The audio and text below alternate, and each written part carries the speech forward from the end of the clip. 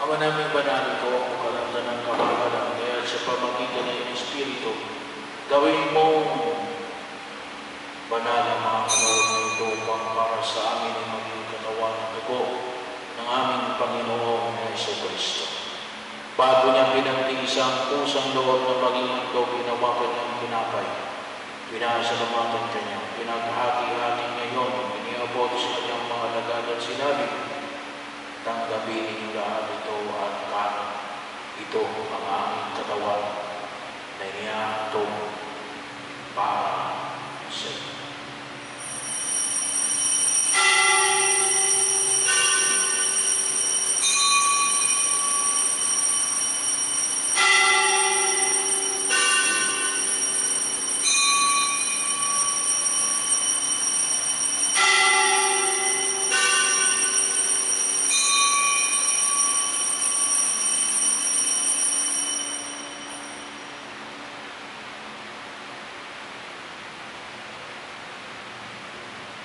Din naman matapos ang hakuna ginawa kanya ang kalis, muli kanyang pinasalamatan. Iniabot niya ang kalis sa kanyang mga lagad at sinabi, Tanggapin ninyo lahat ito, tinimin ninyo ang kalis ng aming dugo ng bago at walang kagipan. Ang aming dugo na itubuhos para sa inyo at para sa lahat sa kapagpapatawan ng mga kasalanan. Gawin ninyo ito sa pag-alaala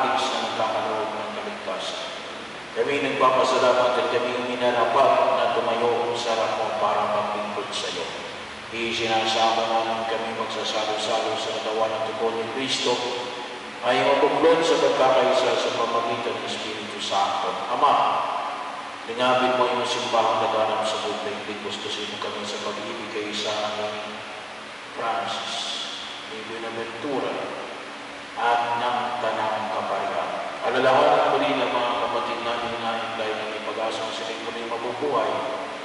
Kaya hindi na lahat ng mga Kawaan mo silang patuloyin sa iyong kaliwanagan.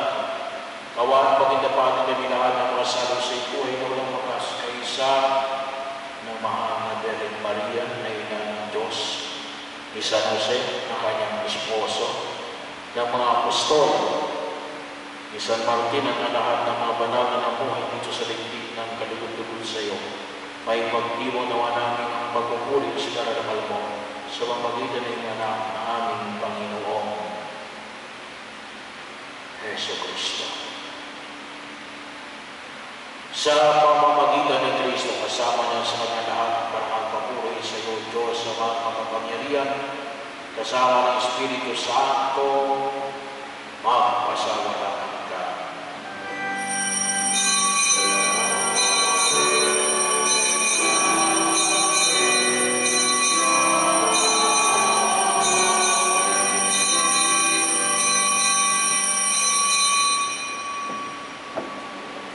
Upang tayo ay tunay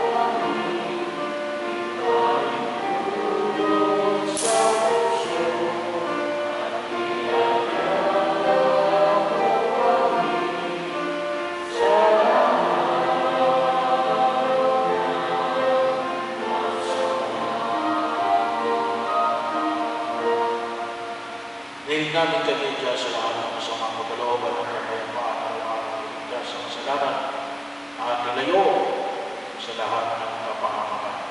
Samantala namin pinanabigat at ilang araw ng pagpapahayag ng tagapagligtas namin si Yesu Cristo.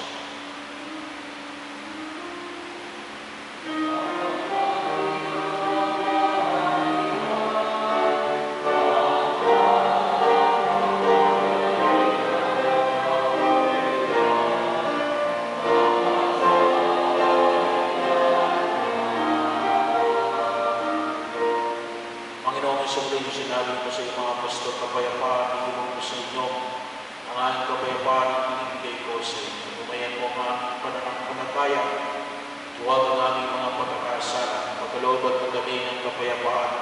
sa iyong kalooban, kasama ng Espiritu Santo, magpasawalang ka. Amen. Ang kapayapaan ng Panginoon niya lagi sa mga At sumainyo rin. Magbigayan kayo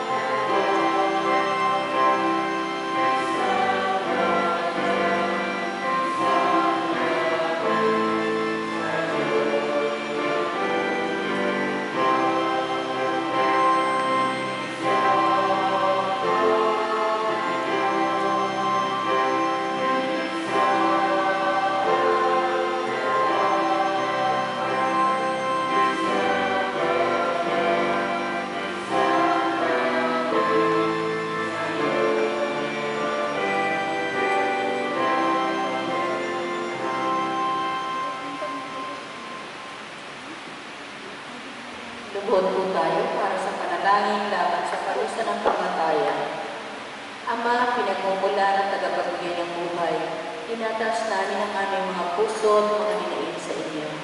Tulungan niyo kami upang bumuo ng isang lipunan na tunay na nagpapahalaga sa buhay sa lahat ng pagkakataon. Ang ating itutugon, Panginoon, hilungin niyo ang nagdaramdam naming kalooban. para sa mga nakararanas ng sakit at hapis dahil sa karanasan at krimen. Para sa mga nagsasagawa at mga biktima ng karanasan ng kapwa na kikipagtunggal sa galit at poon na kanilang nararanasan. Para sa basag-basag naming sangkatauhan na ginagapos ng hangaring magaganti. para sa aming sugatang lipunan na nililigaw ng ilusyong dapat kumitil ng buhay upang ipagtanggol ito. Sama-sama nating sabihin, tulungan niyo kami lumikha ng kapayapaan. Para sa aming bansa na natutuksong sumang-ayon sa marakas na paghihiganti. Para magkaroon ng paninindigang kilalanin at itataguyod ang dangal ng lahat ng mga tao. Para magkaroon ng karunungang makita na ang karungkaan, kawalan ng katarungan, at kakulangan ng edukasyon at hanang buhay ang maaaring ugat ng kriminalidad. Para ang patnubay at habag maging daan upang maibsan ang pagdurusa ng mga biktima at gumagawa ng karahasan. Para sa lakas ng loob na kailangan upang makahanap ng mga kalutasan na magtataguyod sa dangal ng lahat ng tao nang sa gayon ay magkaroon ng tunay na pakikipagkasundo. Para sa inspirasyong baguhin ang lipunan batay sa pag-ibig at karuntarungang humihilom mula sa kasamaan. Manalangin tayo. Ama ng habag, hinahayaan niyong pumatak ang ulan sa mga matuwid at hindi matuwid. Bigyan niyo kami ng isang pusong tulad ng sa inyo, upang sa gayon ay magmahal kaming katulad niyo, kahit sa mga tao na dudulot sa amin ng sama ng loob. Sa aming bansa ay lumalagan ng isang matinding hangarin na magbiganti. At isulong na punuin ang dentro, ginagamit ang panawagan na magkaroon ng katarungan bilang kayo sa pagpatay sa mga lumalabag sa batas. Magkarinawa ang tunay at hindi panandali ng katarungan. Jesus na aming kapatid, dumanas tayo ng kamatayan sa mga kamay ng mga may kapangyarihan. Subalit hindi niyo hinaya ang pagtagumpayan kayo ng pagkapuon. Tulungan niyo kami iabot ang aming kamay sa mga biktima ng karahasan upang ang aming walang mali na pag-ibig ang siyang tumulong sa pagtilong ng kanilang mga suga. Banal na Espiritu, Panginoon at tagapagbigay ng buhay, pinalalakas niyo kami sa pakikibaka para sa katarungan. Tulungan niyo kami upang walang tigil kaming kumilos laban sa kamatayan ng ginagawang legal ng pamahalaan. Gayon din naman, tulungan niyo kaming baguhin ang lipunan sa pagkakaroon ng katotohanan, katarungan, pag-ibig at paggalang upang huminto ang karahasan at manaig ang kapayapaan. Amen. O Maria, ina ng buhay, ilayo niyo ang sambayan ng Pilipino mula sa kapangyarihan ng kamatayan.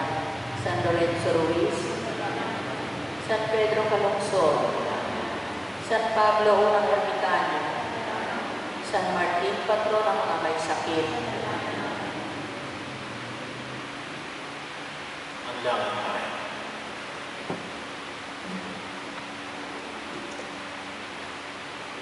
Ang naming mapagmahal kami nagsalo-salo sa pagkain mong bigay ay ang hiling ng lakas mong inilalakad. Upang maganda ang loob na kami madagdagan sa paglilingkod namin sa iyong kadakilaan. Sa pagpapaalaw ng pag-ibig namin sa kapwa-tao sa Yeso Kristo, kasama ng Espiritu Santo, magpasawa naman ka. Amen. Magsupo muna kayo sa mandali para sa ilang paalala. Ito po'y update ng ating uh, pinapagawa dito sa aming simbahan. So, ang ating pong gastos para po sa buwan ay mas linggong ito. Itong linggo lang po na ito ay umabot po sa labor natin ay ang materialis. Materialis po natin umabot ng 25,596 and 60 centavos. Ang labor, apat na araw lang po ito, ay 7,000. So,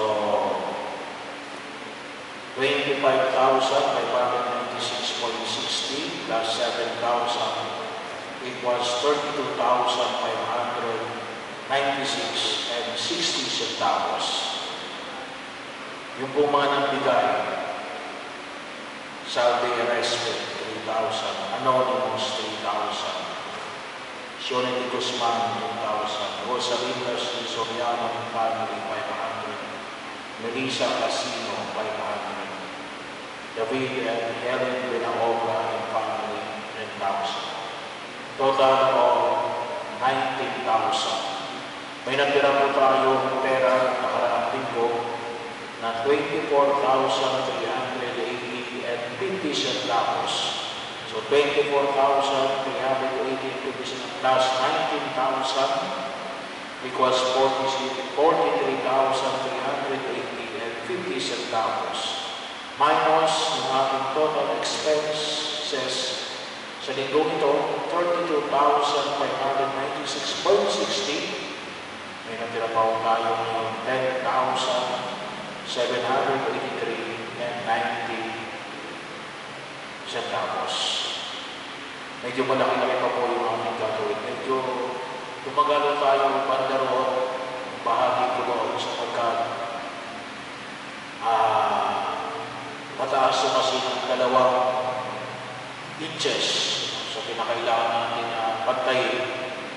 So kaya po ah, tumagal kasi tinibag pa natin yung hindi na po yung 2 inches, more than 2 inches para malagyan natin ng semento para bumaba siya.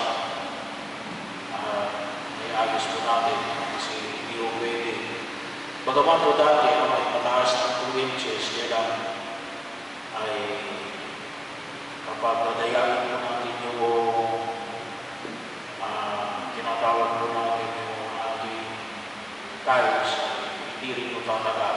Kaya ah, kahit na po tumagal, gawain, inaayos lang natin. So, ang kulang na lang po ay yung ating harapan at saka yung ating altar. So, kulang pa rin po tayo ng tiles. Mga kulang pa po tayo ng mga 150 tiles. Kasi yung mga nasira po dito. Eh, bahagi yun kung saan tayo nagpapasalamat sa inyong walang tu, walang sawang panalangin at sa inyong pagtulong. So maraming salamat po sa inyong lahat. At medyo ito po ay babahagi na rin po natin. Kung nakita niyo po dito, itong dalawang salamin na ito, bala ko natin pasaraduhan na. Pero ang sasarado na po natin dyan ay yung ah, yung kahoy po. So, yun po ay nilagyan ng wallpaper. So, ah, yun po ay yun sasarado natin ng konti dyan para uh, makaalis ng ano kasi nakaka-distract kasi bukas. So, paliwanag.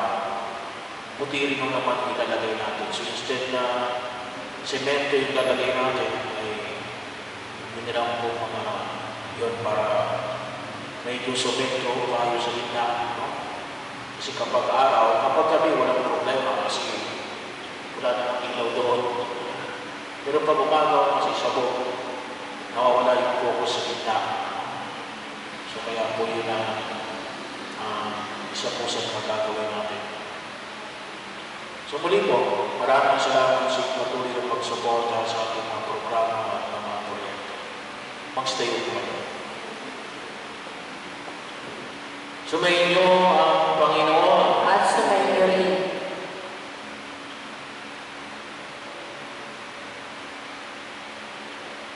Ama namin mapagpala. Pagpalain mo ang iyong mga kaloob. Buhay sa langit ng iyong sambayanan at pamalagingin mong sumusunod sa iyong kalooban sa pamagitan ng Yeso Kristo kasama ng Espiritu Santo magpasawalang hanggan. Amen. Pagpalain kayo ng makapangyarihang Diyos. Ama, Anak, at ang Espiritu Santo. Amen. Mayo kayo, taglay ang pag-ibig at awa ng ating Diyos. Salamat sa Diyos.